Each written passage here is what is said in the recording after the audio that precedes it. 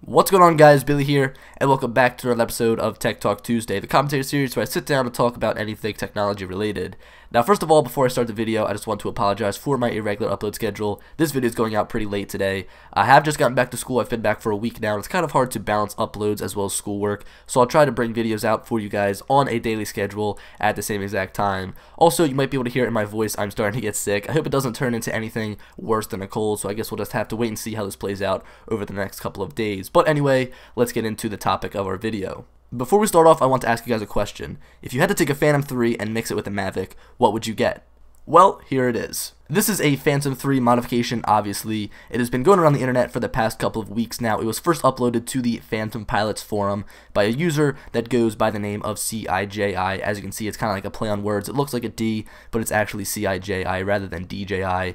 And basically, he posted this on December 14th saying that he could transform a Phantom 3 into a Mavic. Now, this is a little bit bigger than the Mavic, but it still gives you the same body style, allowing you to fold all of the arms together. Before I go any further, I do have to say that this is not my video. I'll throw the link to the original video down in the description, as well as a link to the Phantom Pilots forum and a We Talk UAV page that pretty much goes over what I'm going to say, but is in writing. You may be wondering how this works. Basically, they take all of the guts, such as the motors, the camera, the gimbal, the VPS from a Phantom 3 and shove it into this 3D printed shell, and I have to say that the results are fairly impressive. It pretty much has all of the same specs that come from a Phantom 3, and it's not limited to just one version of the Phantom 3. You can use the Phantom 3 Standard, Professional, Advanced, or the 4K version.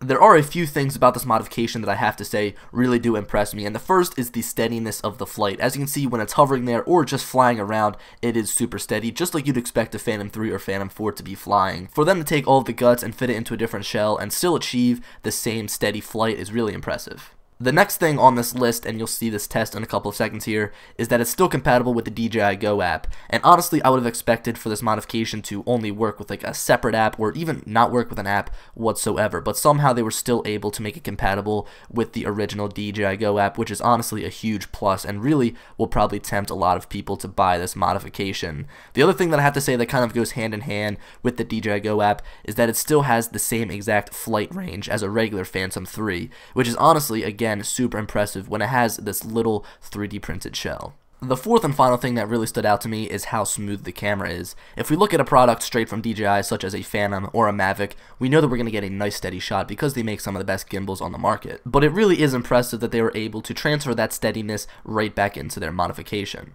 Now, to answer a quick question I know I'm going to get in the comments section below, this is only available for the Phantom 3 at the moment. CIJI on the Phantom Pilots forum did say that they're working on a Phantom 4 version, but again, no release date on that is really confirmed. Finally, you may be wondering about the price of this modification. It will cost you $40. It actually isn't on sale just yet, but CIJI did say that they're working on putting it for sale through eBay.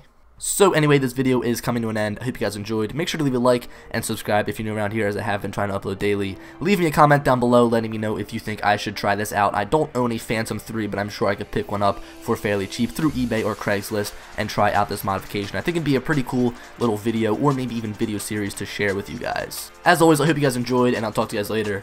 Peace.